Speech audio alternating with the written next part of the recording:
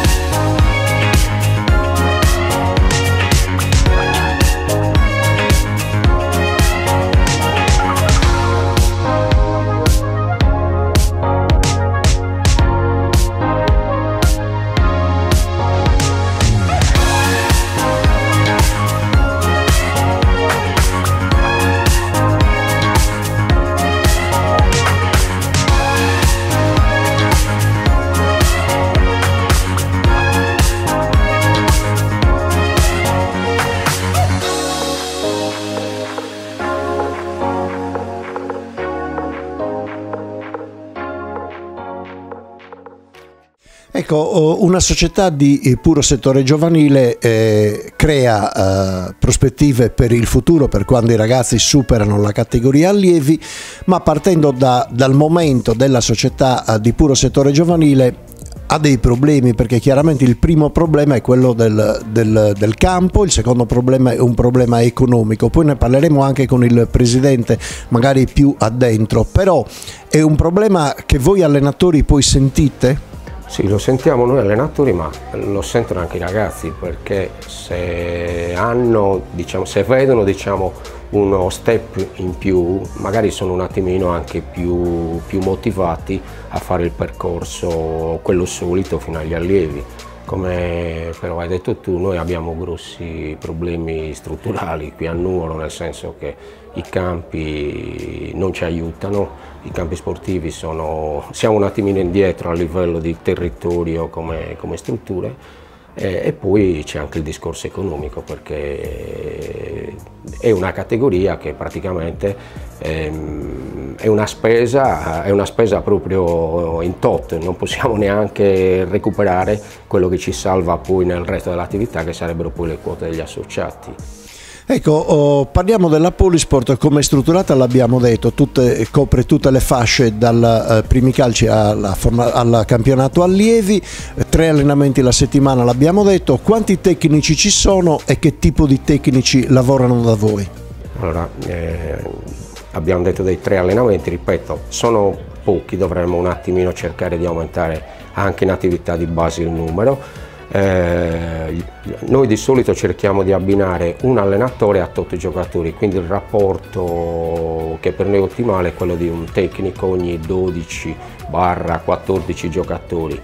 In, in, tutto siamo una quindicina di, di allenatori, eh, abbiamo due preparatori motori che sono due dottori in, eh, in scienze eh, scienze motorie, eh, dei portieri e poi i tecnici sono tutti tecnici abilitati dal settore tecnico eh, e continuamente poi cerchiamo di, di, coinvolgere, adesso ne abbiamo qualcuno impegnato anche nell'ultimo corso che stanno facendo a Cabras di UFAC. Eh, al di là degli allenatori, eh, 15 li abbiamo detti, eh, c'è una linea guida che parte dal primo livello di settore giovanile per arrivare fino agli allievi, una linea guida che tutti i tecnici devono seguire?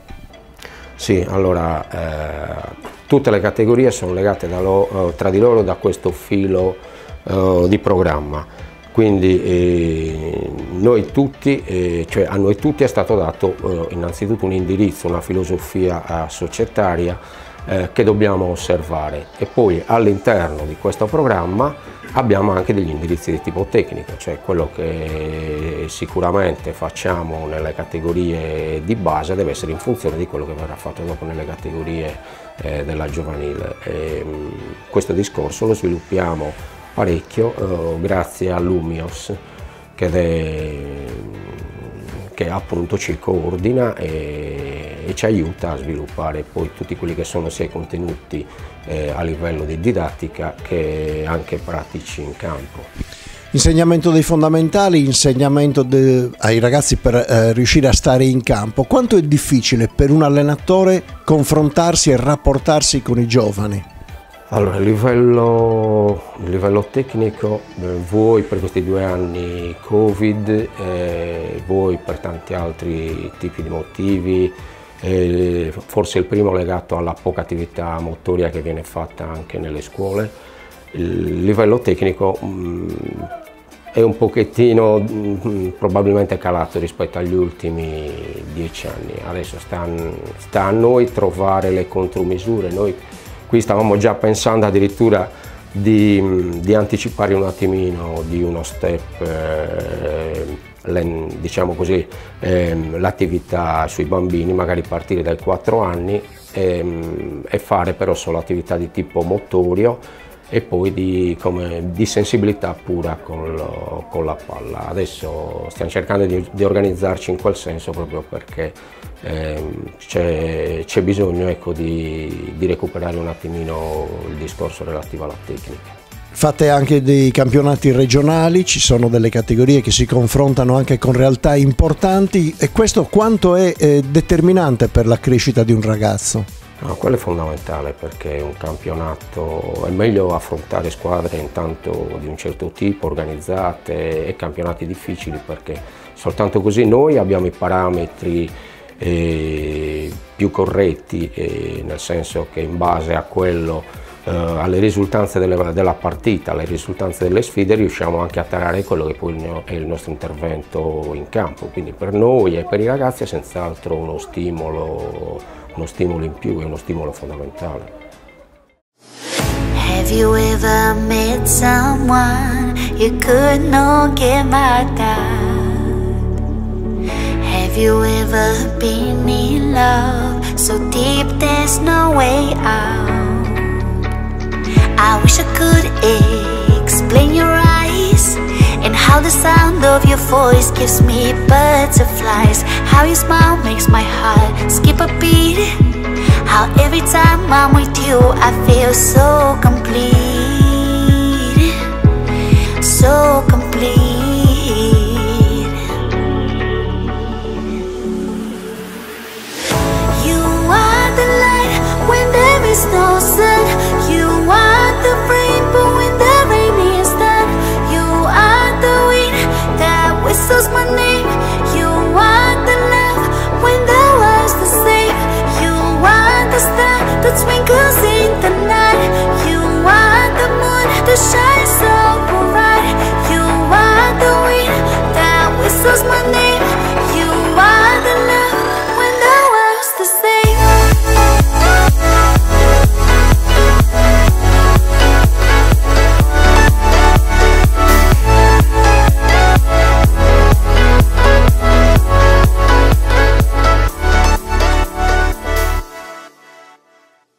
Continuiamo a chiacchierare con la Polisport e lo facciamo con il presidente Salvatore Buedu che ringraziamo innanzitutto per la disponibilità sua e della società ad accoglierci.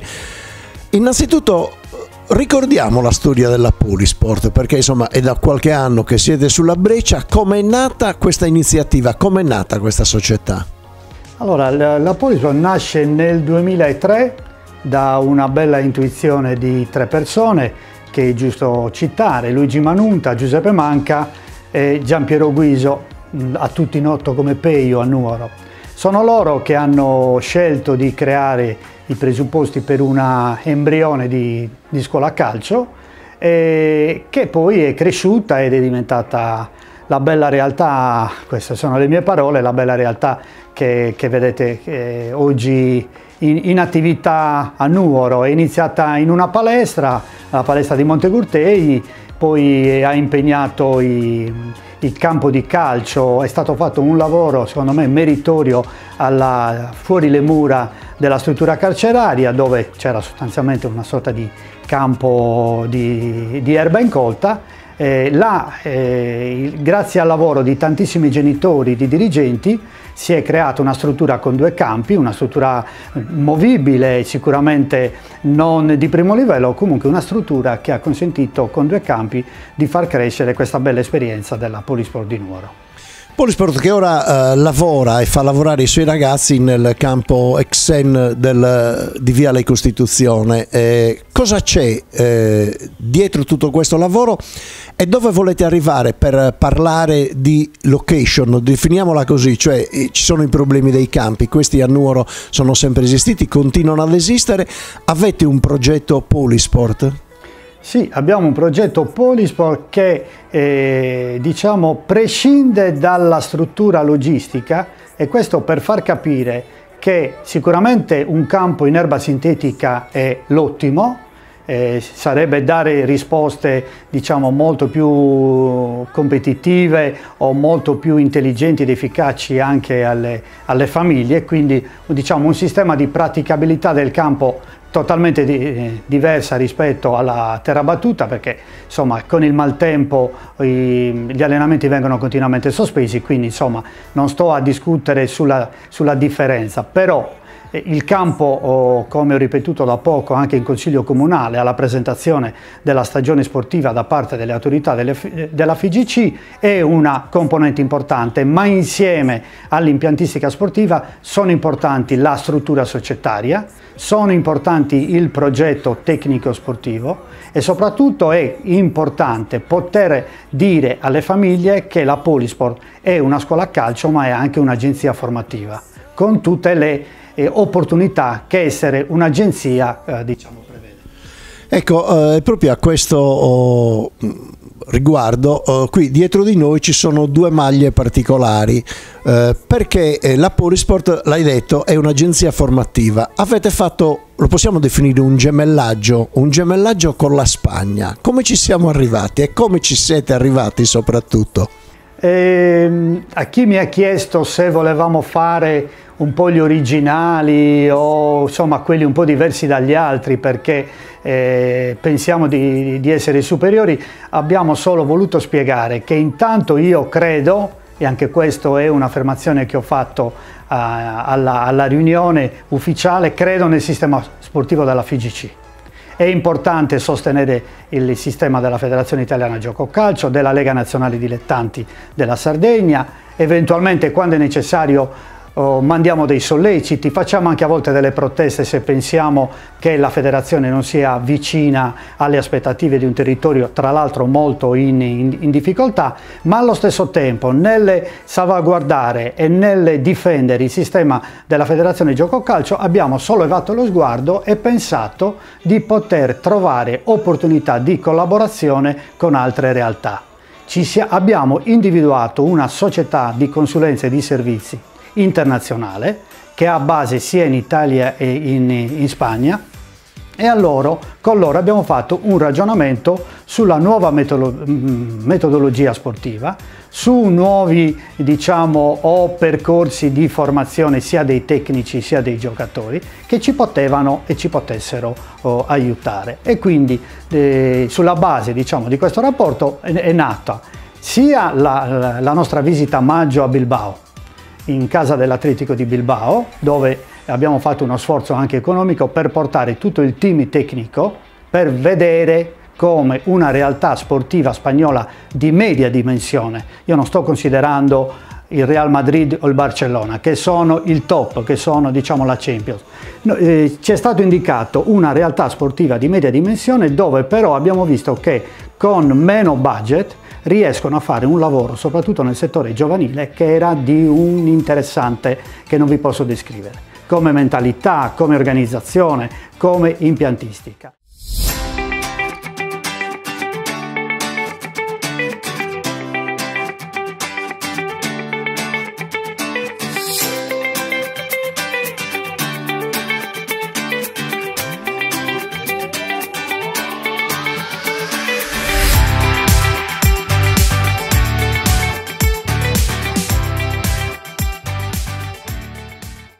I Paesi Baschi, perché Bilbao è nei Paesi Baschi, come la Sardegna o la Sardegna come i Paesi Baschi?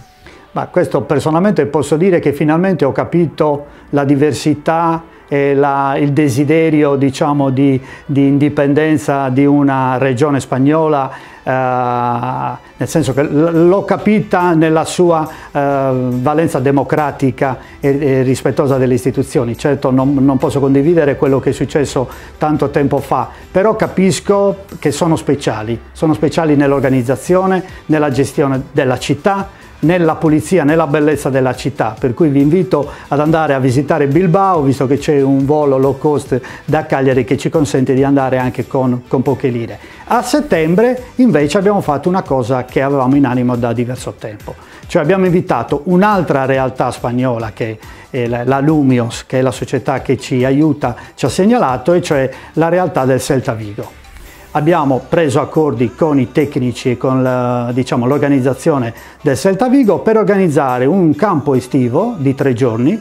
che al mattino ha dato l'opportunità a 35 bambini di fare un camp insieme a questi tecnici. Di pomeriggio, e questo era l'altro scopo, quello di supportare i nostri tecnici nella fase di preparazione delle nostre squadre giovanili. Ne è nata un'esperienza molto oh, arricchente, un'esperienza che ha lasciato il segno perché anche loro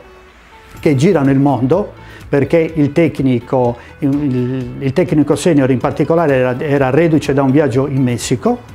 e ha potuto constatare e soprattutto ci ha voluto dire che non, non è interesse di un, di, un, di un, team spagnolo come quello del Celta Vigo andare in giro per il mondo a, fra virgolette, prendere i talenti eh, diciamo, di, di, una realtà eh, piccola o minore come può essere quella della Sardegna o di altre regioni, ma solo quella di condividere un'esperienza, dare un, diciamo, un, consiglio tecnico su quello che c'era da fare e quindi questo ci ha, ancora, ci ha confermato ancora di più che forse realtà come quella spagnola o del nord dell'Europa sono in questo momento più avanti rispetto a quella italiana e, e sarda. E è chiaramente un confronto fra una realtà eh, piccola, la possiamo definire come eh, la Polisport di Nuoro e una realtà importante come può essere il Celta Vigo, come può essere anche l'Atletico di Bilbao che hanno squadre chiaramente famosissime che fanno anche le coppe europee è un arricchimento per i tecnici, l'hai detto, un arricchimento per i ragazzini che imparano qualcosa di nuovo, vedono anche qualcosa di nuovo, ma è secondo me, e credo che tu me lo possa confermare, un arricchimento anche per la dirigenza, per il presidente, per la società, perché il confronto, in questo caso internazionale, credo che possa soltanto che arricchire. Eh, confermo questa tua affermazione eh, noi ci riteniamo in formazione continua. Eh, non ci stancheremo anche di investire una parte del budget e del bilancio per attività diciamo, formative o visite di studio del genere. In, in questo ambito abbiamo per esempio preso impegno perché eh, i ragazzi meritevoli, e meritevoli non solo perché segnano gol o sono bravi diciamo come talento puro, ma anche perché sono disciplinati, perché si comportano bene e perché per esempio sappiamo che studiano anche a scuola come si deve, bene, qualche ragazzo, adesso non dico, mm, non posso sbilanciarmi nel numero, questi ragazzi sicuramente potranno partecipare alla fine della stagione ad un uh, Celta Experience direttamente a Vigo, perché questo è stato l'impegno solenne di questi tecnici, eh, quasi a premio del, dell'ospitalità e della serietà del nostro progetto di accoglienza. Eh, in conclusione, eh